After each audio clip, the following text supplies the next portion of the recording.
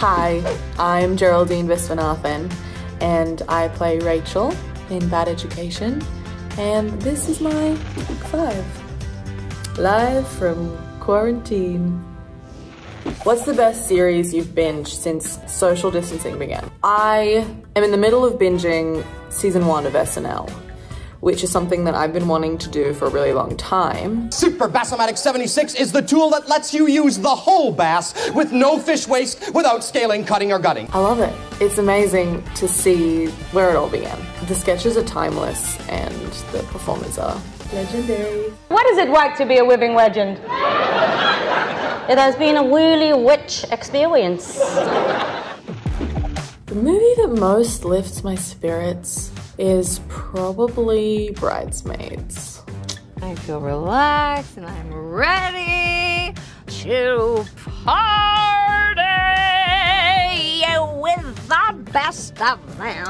I always want to turn to a comedy, make me laugh, you know? So I think that's one of my favorite ones. I love, love Kristen Wiig and Maya Rudolph, and don't think I can get tired of that movie. I think we can all agree on that, right? The TV high school that I would want to attend is probably East High from High School Musical because I just watched that the other night. Welcome to East High. Oh, a wholesome place. I feel safe there. I want to be friends with Troy, Gabriella, Sharpay. I want to kind of bring us all together. I want to sing and dance in the cafeteria and stuff. Go Wildcats. Wildcats! Wildcats! I really love World's Most Extraordinary Homes. This house has the perfect ratio of bedrooms to swimming pools. Caroline Quentin and Piers Taylor travel around the world and go to people's fancy, fancy homes and just talk about architecture. I love fantasizing about beautiful homes. It's therapeutic in a way. And relax, if I must. People should watch Bad Education because it's a true story.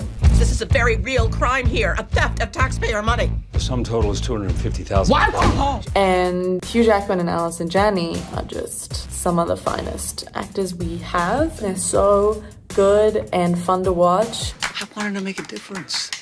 Look, we did. Our director, Cory Finley, is incredible. This is his second film, and I just love it. Some people do the most horrible things. So that was my take five. You can catch me in Bad Education on HBO now. It's just a puff piece. It's only a puff piece if you let it be a puff piece. Stay safe and wish you well.